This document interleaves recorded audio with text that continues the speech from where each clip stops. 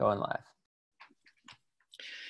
Hey, everybody. It is Sean Gibbons from the Communications Network uh, from what is now Network HQ, my home in beautiful Takoma Park, Maryland, just on the border of Silver Spring, uh, just outside of Washington, D.C. Thank you very much for joining us. Uh, folks are just beginning to stream in, so I'm going to yak for a minute to try to get as many of you into the room as possible.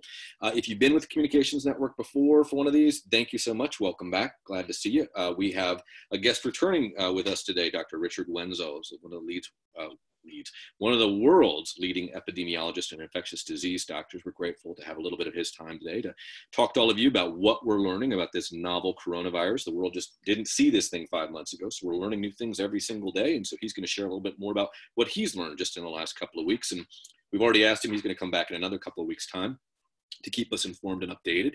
Uh, before we get underway there, though, let's just do a couple things that are our practice, sort of part of our community. If you would, go ahead and uh, take your finger, go down to the bottom there and hover for a quick second. You should see a couple of buttons pop up. One of them says chat, another one says Q&A. Uh, probably self-evident what those things could be. So go ahead and put your name. Hey, Dale, go ahead and put your name into the chat box if you would. I'm going to do the exact same thing. Let's see if I can type and talk to you all at the same time and just say, hi, everyone uh, add your name, where you're from, and org here. Uh, I should also tell you our colleague, Carrie Klein, as she always does. Hey, Katie. Hey, everybody. Coming in from Denver, Jenny, Betsy. Okay, these guys, y'all are, are flying through here now. I can't even keep up. Erica, Trishna, Susan, Sherry, Jamie, Jody, Amy, Jessica. Okay, lots of folks. Go ahead and keep throwing your names in there you can chit chat with one another while we're chatting over the course of this next hour. Our colleague Carrie Klein is taking really excellent notes. She will be throwing links into this chat box. So if we make mention of something that you need to know about, we will toss the link in here so you can avail yourselves of that. Our colleague Gab Sarah Ferris, who's operating from her apartment down in Washington, D.C., is following all of this on Twitter the way we always do. If you want to follow along, one of those people who can manage two screens at the same time, God bless you. Uh, go ahead and uh, check it out on the hashtag ComNetLive, C O M N E T L I V E. And you can see Yabby's notes. You can add your own, talk to one another there. Uh, and then finally, if you're looking for one another on social over the next couple of days, we're using the hashtag comms for good. That's C O M M S, the number four, G O O D. Uh, so with that, why don't we start to get underway? Uh, Tristan, my colleague Tristan Mahabir, is running the slides for us. So Tristan, if you'll advance to the next one. First thing I want to just flag for y'all, we published an op-ed in the Chronicle of Philanthropy uh, just yesterday afternoon. Great thanks to Stacy Palmer and the team there. Uh, the piece is pretty simple. It's a message that y'all probably been hearing us say for the last couple of days. Tristan, if you'll advance to the next slide. Uh, these are some of the things that we think we should all be doing right now. These are kind of the key messages. You can skip reading the op-ed, although I'm sure Stacy would love the click. Uh, we should all, if you're working in a foundation or nonprofit, be spending a lot of our time. If you're doing communications for good, this is the good you can be doing. Let's all try to be amplifying the messages coming out from your local governments, the CDC and the NIH. You can be doing that through your social channels or on your website. Uh, some examples, if you want to see what that looks like in practice, the California Healthcare Foundation has been a tremendous model. You go on their website right now, you will see a link to CDC and get the latest information there. If you can do that on your own website, whether you're the World Wildlife Fund or the Rockefeller Foundation, doesn't matter. You just never know in this crowded information space where people are going to go to get the information that must might just uh, save their life or save the life of one of their neighbors or folks within their orbit. Uh, Tristan, if you'll go ahead to the next slide. Uh, if you can also do this, this is another way to be helpful, is send a message out to your grantees, to your clients, your supporters, and others to help them find resources. Not what you're doing, but help them find the stuff that they need. Again, this is a novel coronavirus. What we knew last week is different than what we know today. We're continuing to learn. The whole world is. So anything you can do to point people to the latest, best information is incredibly helpful and useful. So please, if you can, please try to use your channels to do that. Tristan, if you'll go ahead to the next one. This is the other thing that's probably worth y'all hearing. You've heard me maybe say this in a past webinar if you were with us. We are in an emergency right now, and it is asymmetrical. So, if you're in New York City, you probably have a different feeling about what you're sitting with at this moment, what we're all facing, than maybe if you're in Taos, New Mexico. And so, I think one thing that we could all do is because it's such a crowded information space, especially on social media where everybody has a microphone, slow down just like an ambulance coming up from behind you, just pull over a little bit. If it's not an essential message, if you're not using sort of the decision tree of, is this useful? Is this helpful? Will it help save a life? Will it stop another message that's vital from getting through, maybe just pull those messages to the side for just now, if you don't mind too terribly. Unfortunately, I think Dr. Wenzel is going to tell us this. We're probably in this present situation for the next little while. As you might know, what it looks like in my home state of Maryland, we're on lockdown. Uh, but in Tristan's home state of Florida, they're not. So it's quite true that where you may be may feel a little bit different than where others may be. So getting these messages out, particularly from those of us working in the social sector, uh, it's there's a ton of evidence out there right now saying that foundations and nonprofits continue to be the most trusted sources of information, or among the most trusted sources of information, but certainly considered one of the most constructive forces for good in our society. So if you can leverage your reputational capital, or what our colleagues uh, Neil Coleman and Judith Rodin used to call the influence endowment, you can do a lot lot of good just by helping to get the word out. And again, Tristan, if you would go mm-hmm. ahead, here's one way you can do that. Our friends at the amazing global design firm IDEO, you may be familiar with them, they're out in the Bay Area. Just a tremendous group of folks. They want to help. So they got in touch with us the other day. You can find a link also in that Chronicle piece or in the chat. Probably Carrie will put it there in a moment. But the folk, good folks at IDEO have offered, if you are a nonprofit, so I'm sorry, friends at Gates and Ford, this isn't for you, but but if you're a nonprofit or maybe a community foundation with limited means, and if you click on that link right there that Carrie just put in the chat, if you click on that, IDEO has offered to hook you up with a designer who will help you get the word out about COVID 19. So, not your fundraising efforts, but if you want to help spread the word about how to put people in touch with information that might just save a life, the folks at IDEO want to help you. So, if you go ahead and click in there, they'd be happy to put you in touch and, uh, and do something really quickly. A lot of us know how important design and information design is to getting the word out to people they have a particular skill here. So grateful to them for taking the step and reaching out to us. All right, so with that in mind, I think it is now my time to, to wrap it up and hand it off to Dr. Wenzel. Sir, thank you again for being with us. We're grateful to see that you are in good health. Hoping everybody in your family, you know, folks down in that Richmond region are starting to see some effects here. Uh, but if you would, sir, why don't you go ahead and take it away? We'll come back for Q&A, which can go down in that Q&A box. Again, if you hover, Q&A box is where we're going to take questions over the course of uh, our time together. So thanks very much, Dr. Wenzel. Well, thank you, Sean. And for everyone who's uh, joined the webinar, thank you for joining. Uh, in this uh, slide, I also have my email address in case somebody has a burning issue or comment that they uh, haven't had answered. And I will mention uh, the names of a few drugs, but I want to point out that I have uh, no financial interest in any part of pharma, and I'm not on the board of any part of pharma, so I have no financial conflict. Can I go to the next slide? So on this slide, you see uh, the iconic painting called The Scream, uh, and this is a painting by the Norwegian expressionist Edvard Munch from 1893. And as you look at this uh, figure here, yeah, I think you feel the desperation, the fear, and maybe the loneliness. And those of you uh, who have been through the anxieties related to uh, COVID probably may uh, appreciate what the painter said when he was asked, How did you come to draw something like this? And his quote was, While walking at sunset on a path, suddenly the sky turned blood red. I stood trembling with anxiety, and I sensed an infinite scream passing through nature. And I think, particularly for first responders and others, uh, who have both physical and emotional exhaustion these days. I'm sure you sense an infinite scream passing through nature that we call COVID 19. Next slide. So, this is a busy slide with a lot of information on international trend lines.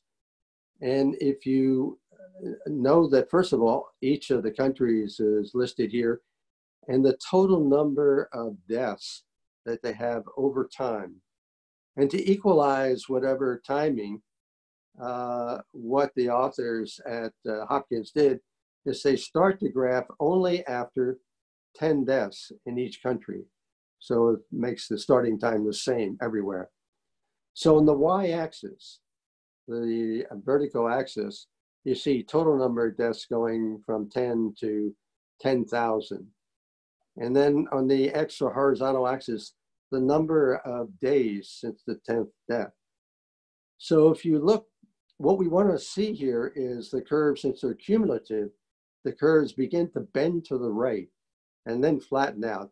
That means there have been no incremental cumulative number of deaths and you've controlled the, uh, the pandemic.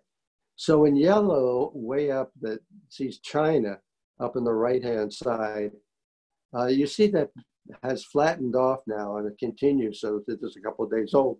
And they really have a pretty good handle on controlling this. And we hope that they'll be able to continue that. Similarly, just if you go a little bit south to South Korea in the uh, blue, a little bit to the right, again, bending the curve. And both of those countries started very early, aggressive social distancing, and particularly South Korea with case finding, finding all the contacts of every case, testing them, isolating them. And you can see even Japan a little bit lower towards the number 15.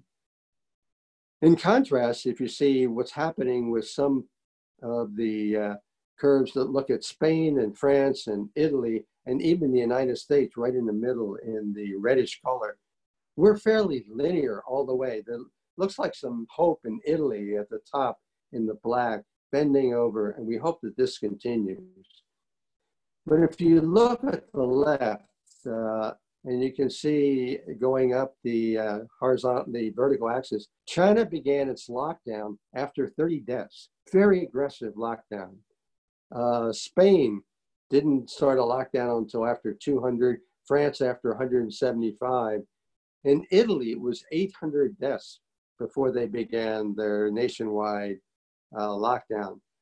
So the point of this slide is early and aggressive social distancing worked along in concert in some of the countries with very aggressive case finding and identifying the contacts, isolating those who needed it. Next slide. So I'll show you three slides in a row that look at where the outbreak could spread if we do no control measures in the United States if we did some modest control measures, and then if we became very extreme. And the code is up on the left, and it's a log code for the total number of new infections per day. And if it's pale, we're doing pretty well. If you start to get amber and then uh, orange, you actually go in this log scale from 100 to 1,000 new cases per day. So if you look at April and then May, we begin to see many areas looking orange and amber. And by June, the country looks like it's in bad shape, again, with hundreds and thousands of cases a day. Now, the next slide shows what if we introduce some modest measures, some control measures. And again, uh, it looks like California, Florida, Northeast would face severe outbreaks that peak in the summer. So you could say, well, April, May looks pretty good. By the time we get to June, you begin to see, particularly in California and the Northeast. If you go to the next slide, what if we really have severe control measures? And as you know, the country is now going into almost a national lockdown. You can see the pale areas uh, in May and also in June. And I think that's important just image to have that we really need to do is whatever we can, particularly in social distancing and case finding. Now, the next slide, what I've done is uh, sort of propose a new, may, a new way for you to follow the arc of this pandemic. And that is to use the number of days, if you will, to double the cases. So currently at the top, you see approaching 200,000 reported cases. Now, many people think that the real number is going to be five to 10 times that. But for this presentation, I wanted to be very conservative and said reality may be only 3.75 times the reported number, which says right now across the country, we could easily be having 750,000 cases. Then look, if doubling the number of cases occurs every three days, every five days, or every seven days, left to right. So if we have 750,000 now, we expect them 1.5 million double if you're on the every three day cycle for doubling by April 4th, or April 6th, the five day cycling, or April 8th, seven day cycling. Now, in a month with 30 days, with three day cycling, there are 10 generations of doubling, six if you go every five days for doubling, and four for every seven days. So now it's important to look at the cases by May 1st. If we had on average every three day doubling throughout the month of April, the entire country will be affected. And with 300 plus uh, million people, we'd have a 1% mortality, which is fairly conservative. We have about 3 million deaths. We're not going to do that. We already started uh, doing things two, three weeks ago. Now look at number uh, in the middle. If we can control things so we see doubling instead of every three, every five days, by May 1st, we'll still see 48 million people infected. That's 15% of our citizens. And in fact, still pretty tragic 480,000 deaths. I think we can do scenario three. Every seven days, control the doubling every seven days with four cycles by May 1st. That's still 12 million people infected, 4% of citizens only. And it shows you a mortality of 120,000. This is pretty close to what Tony Fauci was suggesting uh, last night uh, with some of his uh, projections of where we might be. We could be even better than that. If we get the whole country behind, I could imagine maybe we'd even go to every 10 day cycles. Uh, and by that time, we'd have 6 million citizens infected and 60,000 deaths. That's probably the best we could do. And I'm predicting that will be somewhere between 7 and 10 and will be in the 60 to 120,000 deaths. Remember, if you look at all cases that occur, 5% of them are admitted to hospitals, and a third of those admissions go to the ICU on, on initially. Next slide.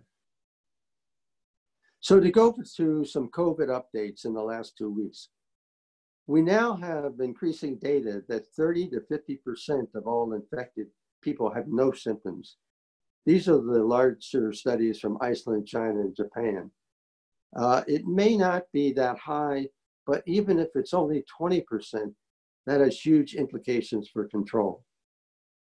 So knowing that the viral load in the nose and throat uh, has been studied and the same with symptoms or no symptoms, the asymptomatic infected people have the same viral load in the nose and throat as infected too.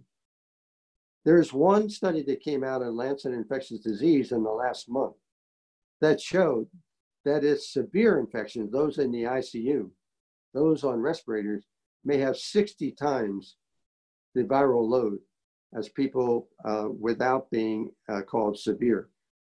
The implication of that is our first responders and the healthcare workers in critical care units are at risk for being exposed to high volume, high loads of virus.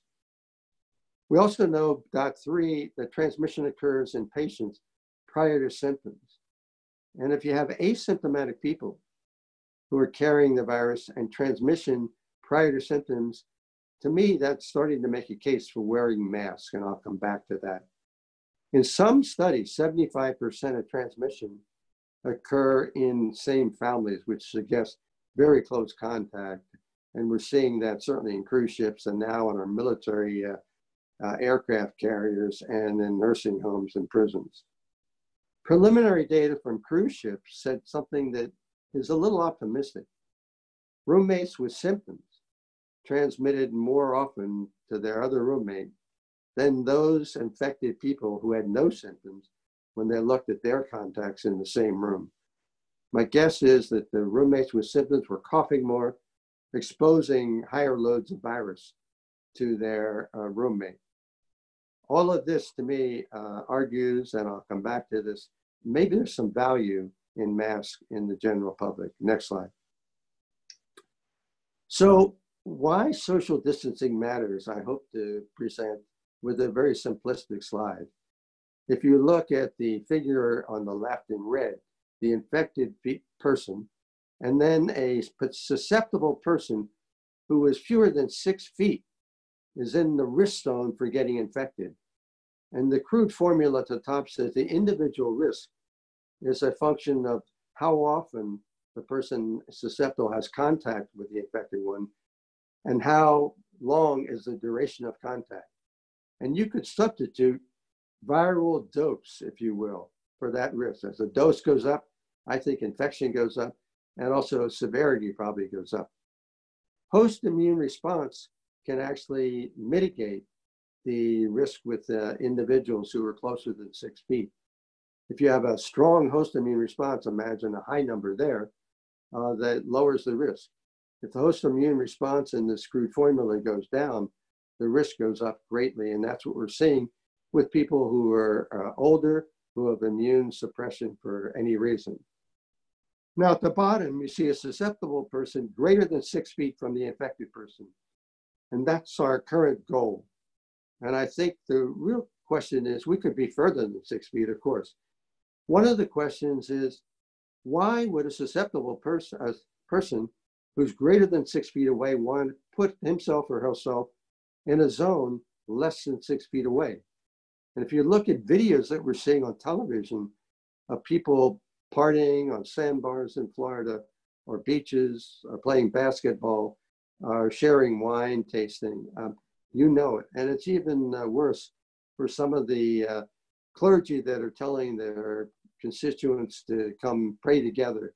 And we've seen some of the harm that can come from that. In my own state, where the president of Liberty University invited the students back, and now several of them are infected. And the only thing I can think that would want to bring susceptible people who are away close and deny that they're at risk, three words come to mind complacency, denial, and hubris.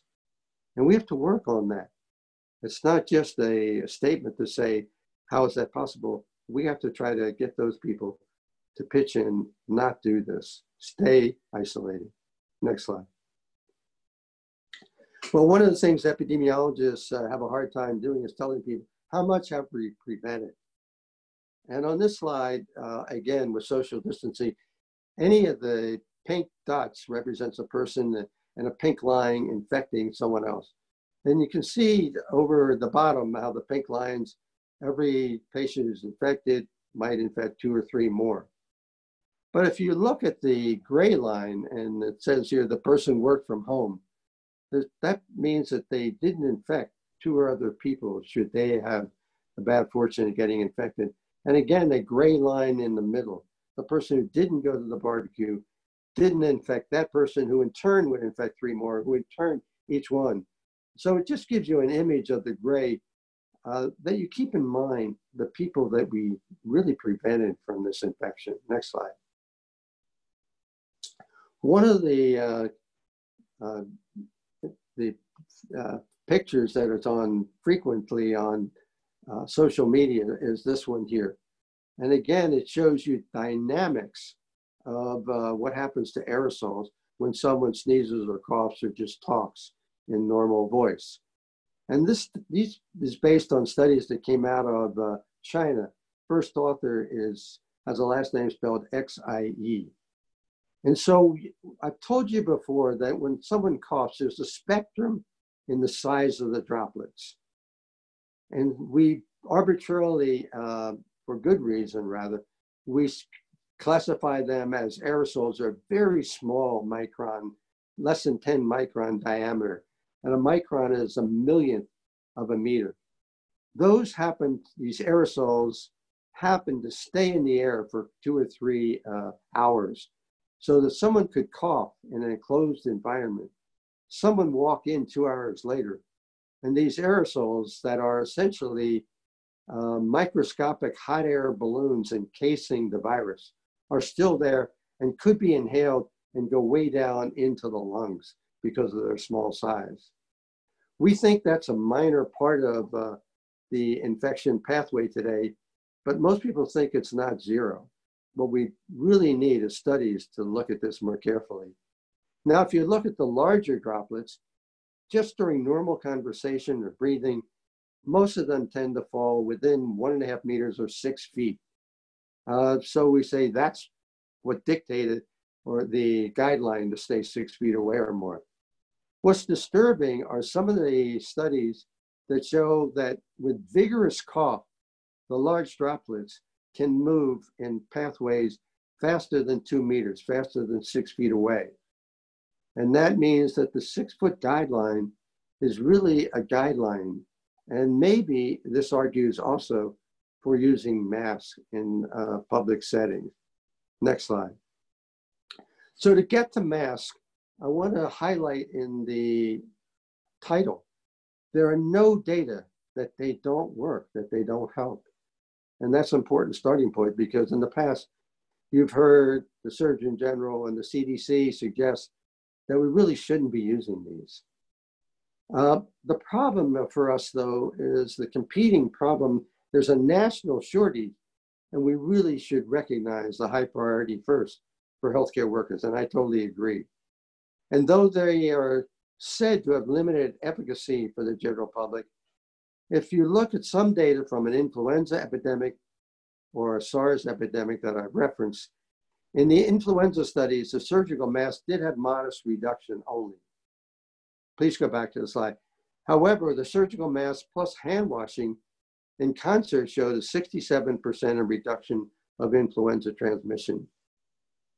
In the SARS epidemic, hand washing, which is always strict, 55% reduction, a mass 68% reduction.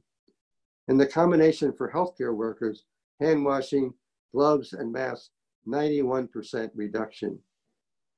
It seems to me that we now have, with the cumulative data, enough evidence to suggest as we face the growing crisis for the next month or two, that for general public, who will be in the general public with some contact to other people, whether six feet or away, no longer, that mask um, could be worn.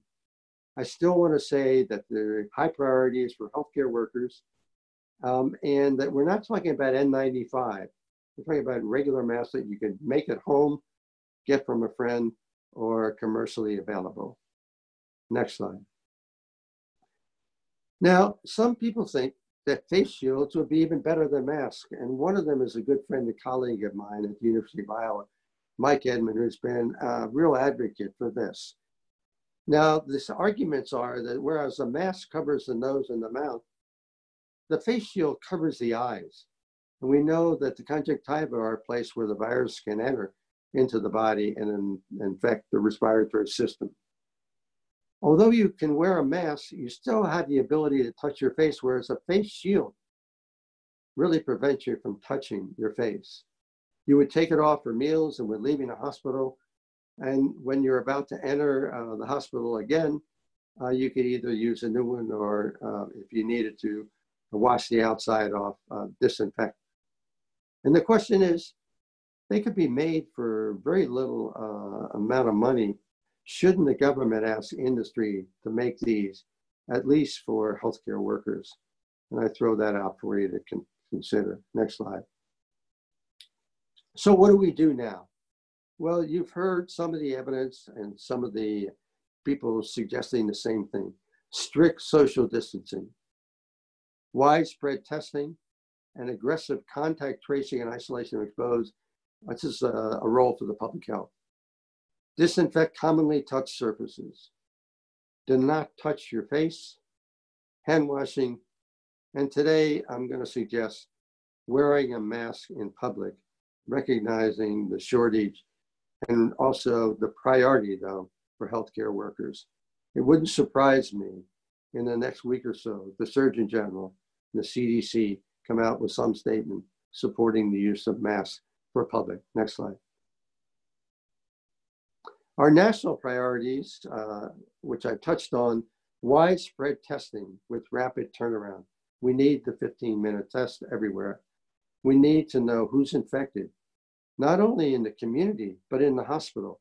And I'm talking not only the patient who may have come in with a gallbladder crisis, who may be actually infected with or without symptoms, but also the healthcare workers who might be there and have symptoms we need to know what percentage of our citizens are infected uh, to see how close we are getting to the entire population or what we may need for herd immunity, the proportion of the population that's infected that'll protect those currently uninfected.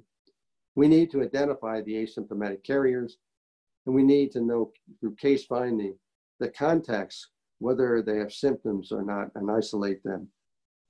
Clearly, more personal protective equipment is needed for healthcare workers. Um, and you see those stories, particularly from people in New York. Other hospitals throughout the country, though, are seeing this.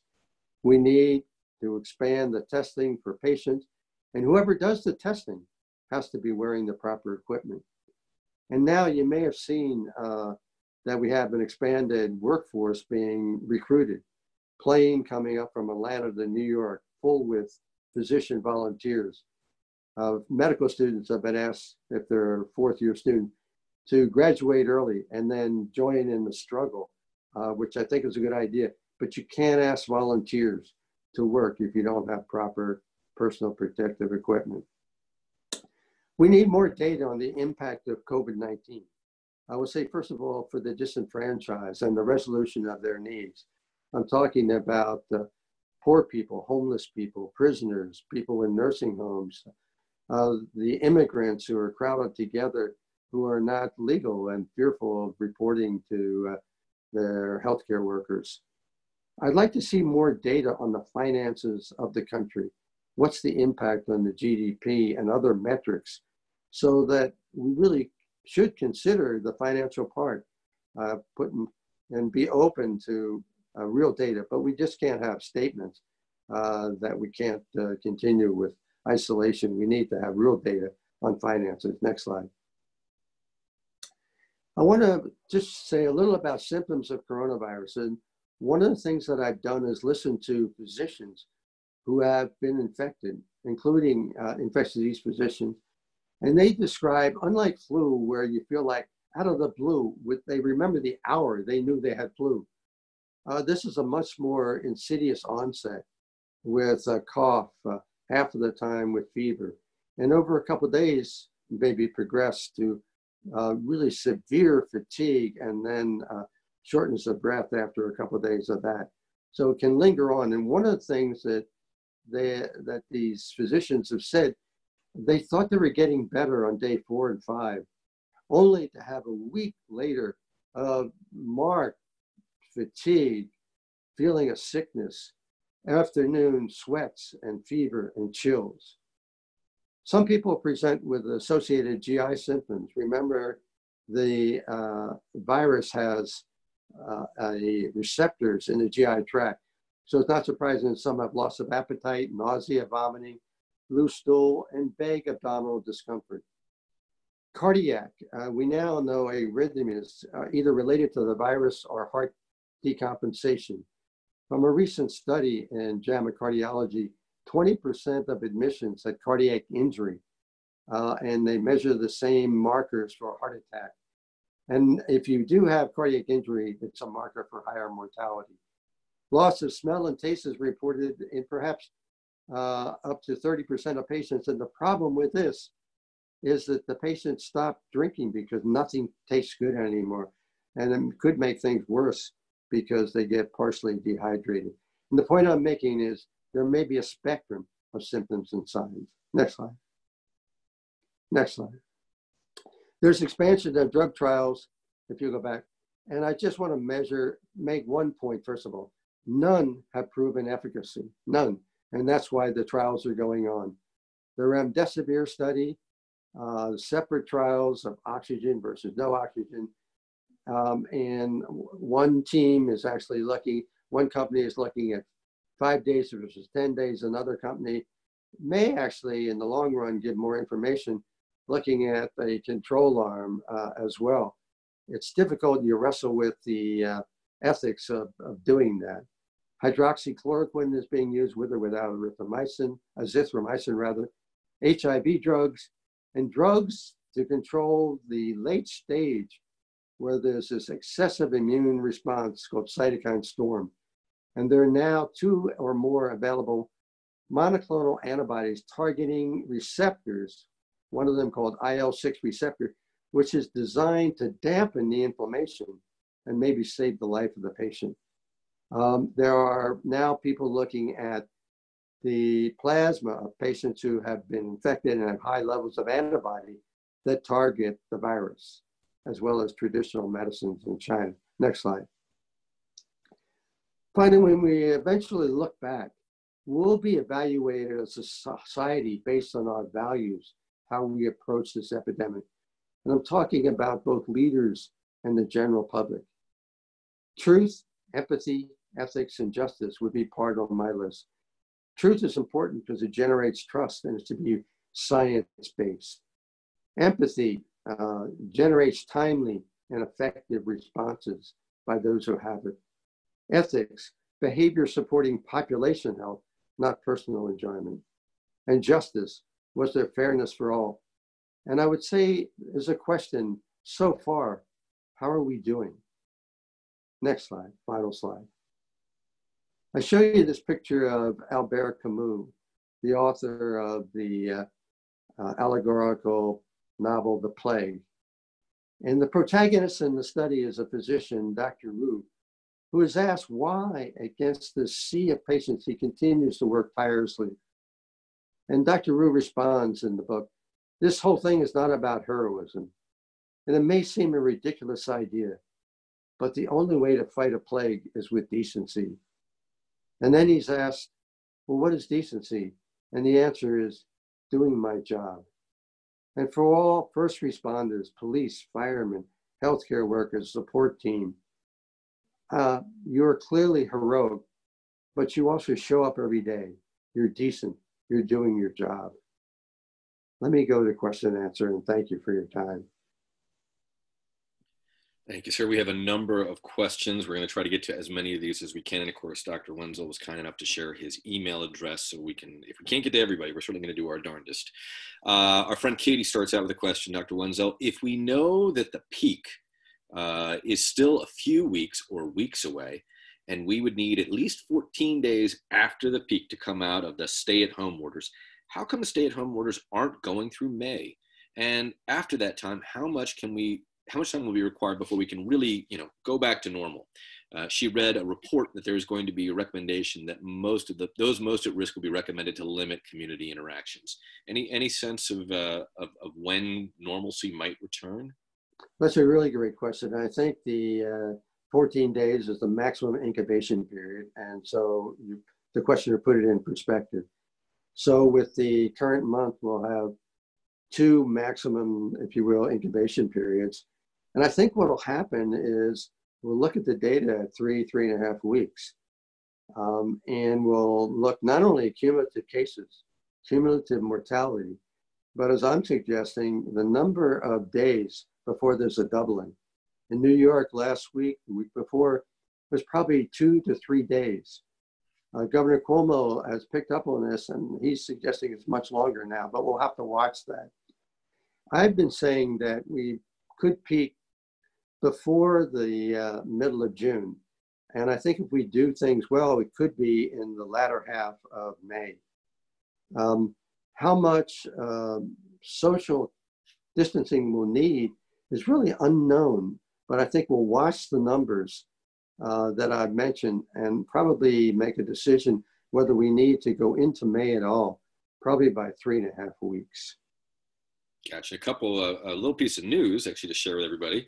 Uh, one of the folks in the chat just shared with us, going to take you at your word here, that Florida has just announced a stay at home order for the whole state. So a little late to the party, but obviously happy to hear that news. Um, in terms of folks thinking about when this might end, one indication I think the state of California has been particularly strong at letting the data and the science guide their decision making uh, from a policy perspective. And, and y'all may have heard the state of California just close their schools for the, the remainder of the year. I believe that takes them into June. Uh, Dr. Wenzel, your home state of Virginia, Dr. Northam, uh, Governor Northam, just made that call leave within the last two or three days. So if you're looking for a sense of when this might be over, uh, at least from a uh, that is one indicator. I don't think that's necessarily the day it will end, but that's that'll start to give you an indication that it's we are probably gang looking at eight to ten to twelve weeks. I think is probably a reasonable thing to expect. Is that fair, Dr. Wenzel? Yeah, I think we'll peak probably somewhere around uh, mid-May to mid-June. And what we don't know uh, is the slope of the downside. it tends to be slower uh, than the rapid exponential rise and that could seriously uh, go into June. Copy that. Thank you, sir. And that actually gets to our friend Josh's question, which is sort of along those lines. Is anyone doing good work on what comes after the peak? Uh, his, his observation, it seems like epidemiologists more or less have a consensus view on the steps that are needed to bend the curve, but there's not necessarily good clarity on what comes next. So what's that downslope look like, even if well, you're speculating? Yeah, well, it's a timely question uh, because there have been some reports, uh, a few more cases uh, in China now that they've begun to really relax things. And so, very quickly, uh, they've been very aggressive. They've now doubled down on uh, some of their uh, social distancing again and case finding, which actually points to the questioner's um, thinking because we really don't know uh, at what point on the downslope we can really um, uh, be more comfortable that it's really going to occur by itself because the viruses run out of hits.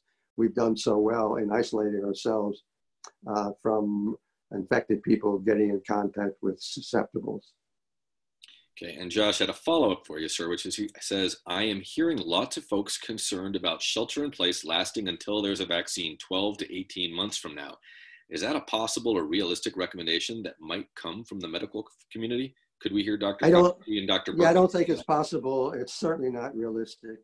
Um, what I worry about is even the month of April, will people just be exhausted by it all, become more complacent? Uh, I think it takes enormous work to do what the citizens of the country are, have done and will do, uh, while the medical team really takes care of the patients.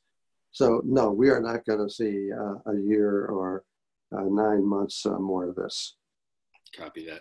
Uh, our friend Kelly asks a question I'm certainly curious about. She says, uh, Dr. Wenzel, I'm curious about exercising outdoors and running or walking by others uh, who are doing the very same thing. Is six feet enough of a distance? How long do droplets linger in the air? I think her thought is, as I'm running up behind somebody, maybe huffing and puffing, am I necessarily going to be infected by that, you know, minute or two, or that moment or two that I'm passing them, maybe within a foot or two?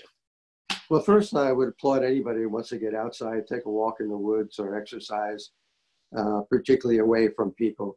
And no one knows how closely uh, you're going to have contact. But I think the odds are minuscule if you're six feet away from somebody jogging uh, near you. Uh, I think it's uh, good to take, pay attention to your physical exhaustion, your emotional exhaustion, and you can probably do that well with some kind of, again, walk in the woods uh, uh, or jogging. But I would still try to stay away from people. Gotcha. Uh, our friend Ann Martins from the Bill and Melinda Gates Foundation up in Seattle, uh, we know they're going through a lot up there, uh, has just put something in the chat for folks if you're interested that has sort of a state by state curve and peak usage uh, projections. Uh, and it's as she notes, it's optimistic. But if you want to make yourselves uh, avail yourselves of that, she's been kind enough to put that in the chat. And Ann, maybe you'll toss that on Twitter too with the hashtag comms for good, and we'll make sure to retweet that. Uh, next question comes from our friend Betsy Marple, and she says, Dr. Wenzel, what about food deliveries? We've all got to eat. Uh, should that be washed? Uh, how should we handle delivery boxes or even uh, the money that's exchanged by so many people? Um, do we have any concern over our mail, which comes from all over the country? There are a couple comments that I would make. One is, uh, you know, went to the post office uh, recently, and what they've done is, uh, have a plastic curtain going from the ceiling uh, in front of the people behind the counter, going all the way down to their waist. So there's no way that you can transmit uh, from the postal person to the person picking up the mail or exchanging packages you, and then you can pass the envelopes or package it back and forth. Obviously, wash your hands. Now, in terms of if you go to the uh, grocery store uh, and you're picking up uh, yourself the uh, items or someone's delivering to them, they bring them in a box or a bag, you bring them out, you have to uh, wipe the outside. The quick answer is we don't know for sure, but a reasonable thing to do if you have the wipes disinfect the uh, uh, outside cardboard. We know that can last for up to a day. Uh, anything, I don't think many foods are in stainless steel, or, but some are plastic, which actually could hold the virus for a couple of days. I would say two things about it. It'd be a reasonable thing to do, and if it makes you more comfortable, then it's okay to disinfect the outside of that. Uh, Nancy asks a question, Dr. Wenzel. She says, Many of us are trying to support our local restaurants, which we know they're struggling. Our friend Carrie's family uh, owns a restaurant in the New Jersey area. They've had this experience. Uh, but many of us are trying to support our local restaurants by, take, uh, by ordering takeout uh, to help them stay in business and retain their business. Um, in her case, in Nancy's case, she's been doing this with curbside delivery without money exchange. Is there any thoughts on the safety of doing this? Is it okay to go ahead and, and, and patronize some of these small businesses in your local communities? Yeah, I would tell small businesses, first of all, uh, if you can keep everybody outside. Um, if they have to come somewhere to pay, then they didn't already use their credit card. Do what they did at the post office in my area. Put a piece of plastic uh, down between you and the customer. With the bottom, you're able to exchange money back and forth, hand washing, uh, antiseptic nearby. Uh, for so for the people who are picking up the food, again, uh, hopefully you're not crowded with other customers uh, any closer than six feet apart. Uh, once you get the food, it's going to be inside a bag. You take the uh, whatever the container is, if it's plastic, styrofoam. And again, we don't know how compulsive you need to be, but it's reasonable to wipe those off. And if it makes you feel better, you wipe them off. Finish with hand washing, hand washing, hand washing. Okay, our friend Krista up in Michigan asks, uh, does a handmade mask have any data to support that it will protect the wearer? So I think what Krista's thinking is she has a young family, she's walking out the, with the family, she's maybe made some masks or tied some bandanas. Is that is that helpful? Well, uh, the general thinking is probably uh, it does. It might help. Um, there's no study that I can point to to say people with various kinds of homemade masks versus commercial mask versus no mask. Um, but what you're trying to do, and what I've tried to do with that one uh, diagram, is show you want to prevent the large droplets that uh, might be uh, spread by someone more than six feet away. Uh, you don't want to get closer than six feet. Obviously, if you're less, you're going to prevent the large droplets as well. But you try to prevent the large droplets if you're farther than six feet. So I would, I'm encouraging people, yes, to do that. Okay, next question comes from our friend Doretta, and my mother in law desperately wants to know the answer to this one. Is there any truth to the no ibuprofen? If you've been diagnosed with COVID or with a novel coronavirus and you're showing symptoms of COVID 19, is there any truth to the, the thing that's making the rounds on the internet that you should not use Advil or ibuprofen products? Is, is that true? I know there's well, a lot of about stacking them with with Tylenol. yeah, there's a, a, good question because there was one study, a report, not a rigorous study, came out of France suggesting that, um, but there are no data. I don't think we know. And if you're on those things regularly and you're managing your arthritis, uh, certainly you could talk to your primary care doc, but um, we don't have data to say that you're definitely set up to get worse disease. Okay, so let's just say uh, I'm just going to play a scenario for you. You're me, you're a 48 year old man. God forbid I, I fall ill. My sister Becky, the doctor, would say, stack it. It's just like the flu. You, you give a little acetaminophen, you give a little ibuprofen just to try to manage the fever, uh, keep, create some comfort for the patient. Are you saying that's okay to do? I think that's reasonable today because we really are without information. Okay, copy that. So thank you. So right now, just don't have that data. Uh, ibuprofen is probably okay, but no harm if you wanted to avoid it. Is that okay? Oh, I think again, uh, I would tell people, particularly if it makes you comfortable, that helps.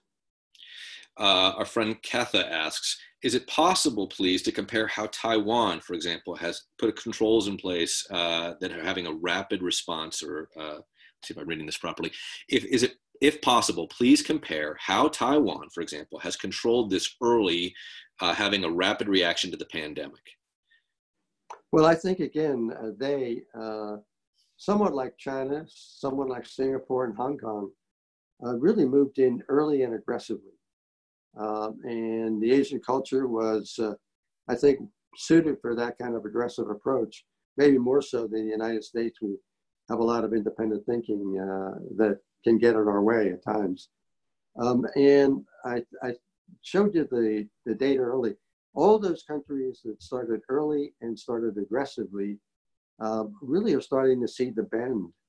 Um, we don't know which components um, influence the bend more likely than others. But the combination of social distancing, and particularly in South Carolina, or South Korea rather, their uh, case finding was really instrumental. Um, there are some people who suggested that uh, they are geared more towards the family and therefore we're less likely to contact uh, grandparents and elderly during this difficult period uh, compared to Western countries. Don't know if that's true, but it's something to consider and see what the anthropologists uh, think. Uh, our friend Michelle asks, uh, based on the diagram that you shared just a little bit earlier, uh, coming out of, uh, of Asia, should social distancing or physical distancing be six feet or six meters? Six meters, obviously, like 19.8 feet, so 20 feet. You had to choose. And you were talking to, to your kids or your students or, or friends and family. Are you telling them six feet or are you telling them 20? Well, I would be telling them at least six feet, and if possible, um, farther away. Uh, partly because we're in a situation where we have so little information. We're doing the best we can with uh, uh, limited data. There are no studies to show that six feet versus 10 feet versus 25 feet. Um, but it's more likely that the farther you're away, we expect some incremental benefit. Okay, and our friend Betsy asks, someone has suggested uh, that the virus can come in from, uh, from footwear uh, we remove our shoes. I guess this is her practice in her home. She removes the shoes at home. Uh, but for families with pets, uh, how long does the virus live? Uh, you know, never. She's never washed and sanitized her floor like she does now, says Betsy. Uh, is there anything uh, about people carrying it in on their feet? Yeah, I think it's very unlikely that that's a significant path. Um, you just want to um, not have.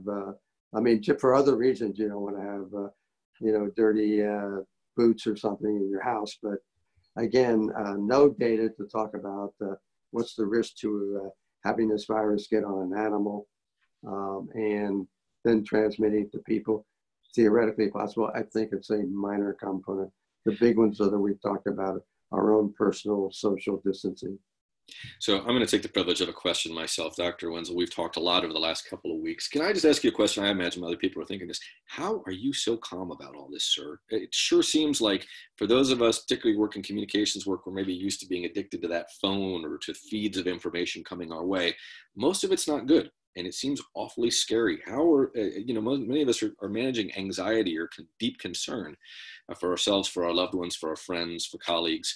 Uh, but you seem pretty relaxed about all of this. Why and how?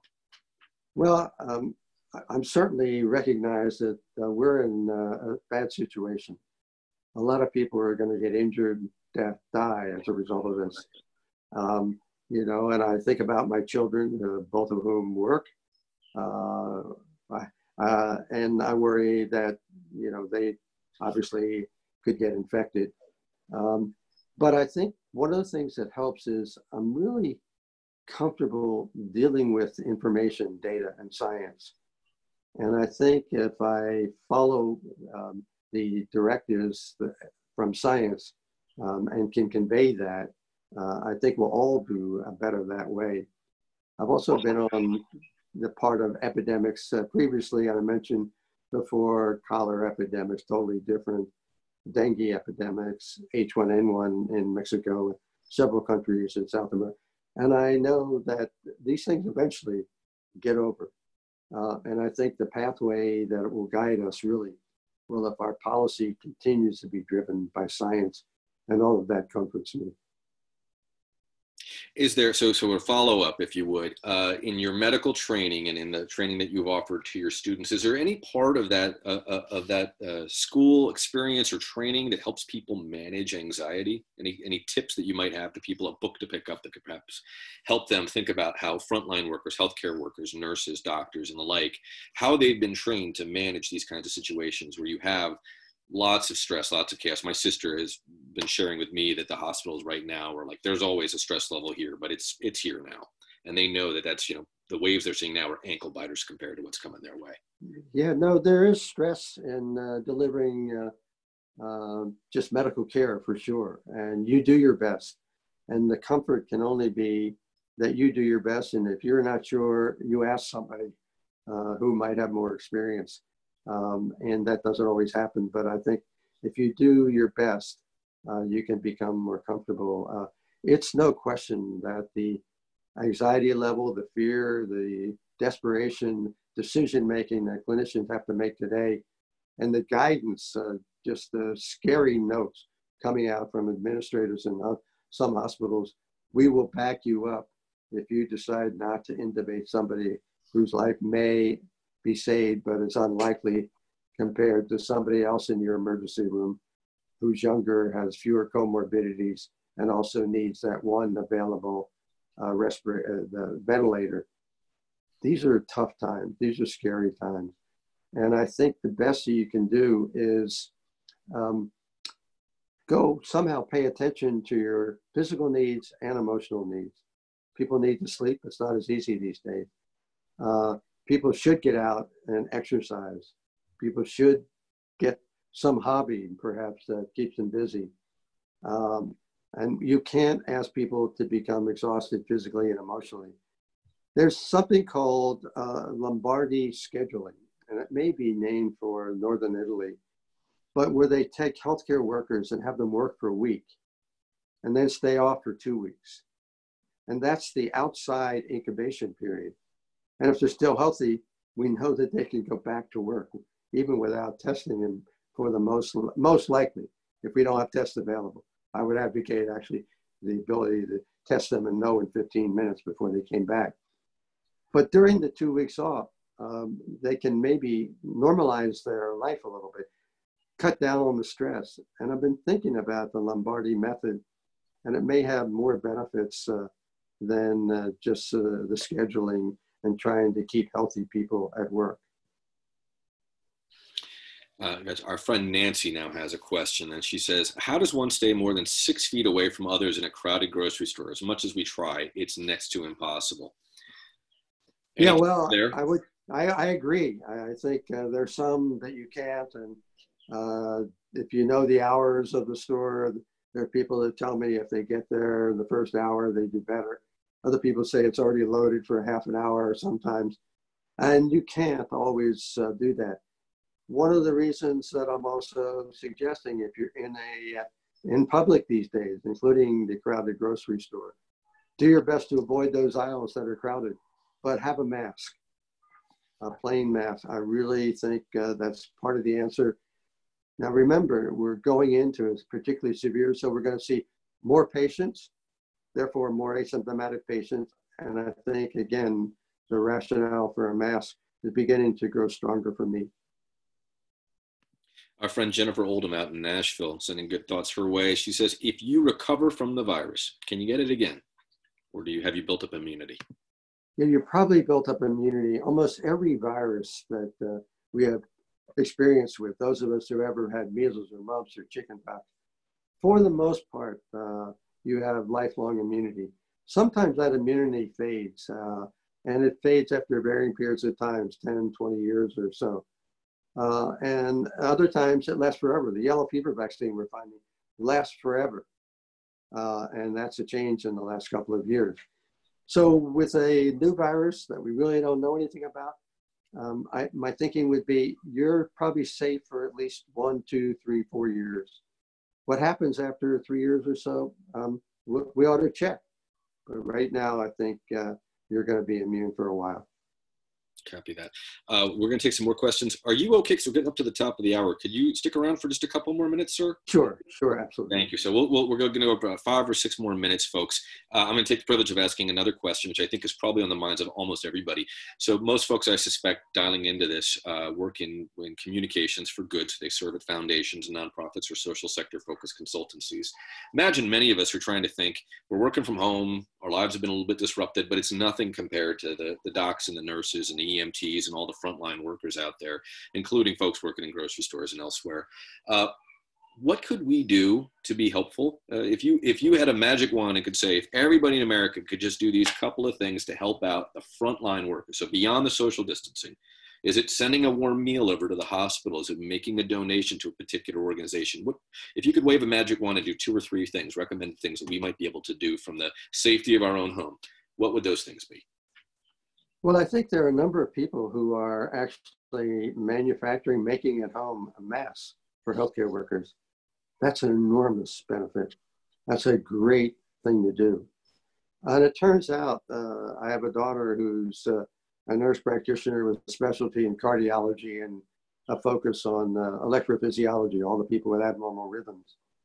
Um, and one of her neighbor's high school sons actually used a 3D printer to help her put together a face shield.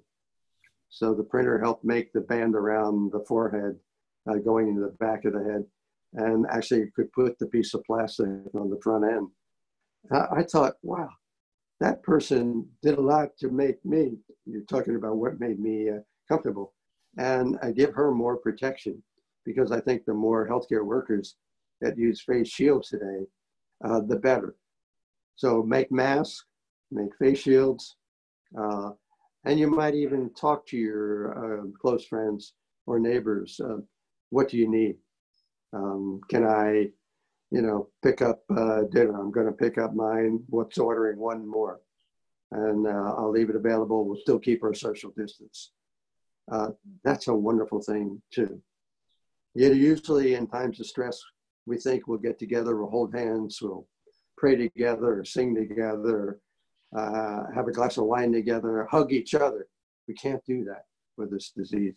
It's different. So some of the things that I mentioned be enormously helpful. Thank you, sir. Uh, our friend Jamila asks, uh, why are places like Sweden claiming herd mentality? Might that work in some places, or is that just irresponsible in your view? Um, I'm not sure what the term herd mentality means. I think they're saying they're just not taking, sort of like Mexico, they're not taking any extraordinary yeah. actions. Yeah, I think they're uh, testing their luck uh, and I would come back to some of the statements. Uh, are they just in denial? Are they over complacent? Are they just hubris? Uh, this is an equal opportunity virus. It's not going to affect uh, anybody uh, north or south of the equator uh, or in between. Um, unfortunately, um, that will hurt them eventually friend Rebecca asks, how important is it not to touch your own face, which I just did, and wash your hands thoroughly and often when you're in your own home and remain isolated? So how often should be if you're, if you're staying in house all day, you're not me going out to walk the dog in a few minutes. How important is it to keep washing your hands and, and, and try to avoid touching your face if you've been isolated for say 10 days, two weeks, whatever it might be? I think if you're home and uh, you really washed your hands carefully uh, when you came home, after you've managed whatever groceries or mail or anything else that you've done, um, and you haven't touched anything else, um, uh, you know, I think you're probably okay. It doesn't hurt to just get up if you want when you're stretched, go wash your hands. Um, and the only reason to do that is if you are, for some reason, don't think you've disinfected them as well or earlier. But I think you're probably probably safe at home once you're at home for the most part and you've already done everything you can to disinfect the commonly touched surfaces that you may have contaminated with something you brought in and washed your hands carefully beforehand, you're in good shape. Our friend Robin asks a question, uh, and that is what is the status of testing in our country, uh, in your opinion? Can you just give an estimate of where you think we're at? Is this really being done state by state? And she, uh, Robin's down in our friend Robin's down in Austin. She says in Texas, it's clear the reported numbers are inaccurate due to the lack of testing. Well, unfortunately, uh, because of the lack of testing, uh, all our numbers are inaccurate. Um, you know, I mentioned before that uh, you need a good numerator and denominator. Um, and uh, we really don't have a good denominator. We don't know who's infected out there. Um, and we need them uh, badly. Uh, they're rolling out tests. I mean, we had a lot of problems initially with an ineffective test that was inaccurate. Um, and um, and then we ignored the, the, overtures from Europe to be able to employ a test that World Health is using. And so for a while, only state labs were doing this. Now, entrepreneurial labs all over the country are setting up their own testing uh, techniques. And that's been a boon. That's really helpful. But we still need much more, and we need the rapid tests uh, because the turnaround is critical to how you manage uh, people, patients, healthcare workers, uh, workers uh, anywhere else that might come in contact with uh, people. Um, we're way behind. Um, I would hope that uh, in two weeks we'll have significant changes. Okay, next question comes from our friend uh, Phoebe, who asks, Dr. Wenzel, what is it about diabetes that puts individuals at higher risk? Why is it if you if you are diabetic that you are at a higher risk for this disease? Well, the quick answer is nobody knows. Uh, and uh, in general, uh, diabetes uh, does uh, cause people to have some increased risk of infections, you know, particularly things like skin infections um, that we're aware of. Uh, why this would, you know, influence things, we're not sure. And that's the answer. Nobody knows. Okay, and our friend Andrew just did a very kind thing. She just, if you look in the chat, gang, uh, you will see that she put a, uh, believe it's a she, uh, put a link in for a maker mask, 3D printer for respirator quality masks. Uh, so thank you for that. And chances are there may be one for a face shield as well. If you can look around in there, if you have the ability to do 3D printing, that might be a really wonderful, good thing to do for folks in your local community, particularly first responders and folks working out there in the hospitals on the front lines. Um, some just uh, questions for folks that seem to be focused on kind of is this going to be available? Yes, we're making a recording. We always do. This will be posted on the network's YouTube page. Dr. Wenzel's last session uh, had over almost 4,000 views, if I'm not mistaken. Uh, so we will post this up online just as soon as we can. We'll also try to get the live notes out that we've been creating uh, to you as quickly as we possibly can. And Dr. Wenzel will be back in a couple of weeks. I think, sir, just mindful of your time and, and out of respect, uh, we will leave it there.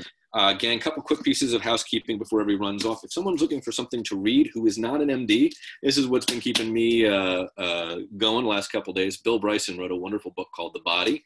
It's a little bit thick, so it's going to take me some time to get into it, but it is a wonderful sort of uh, layman's, uh, in fact, the subtitle is kind of fun A Guide for Occupants. I am one, I have a body, and I am occupying it.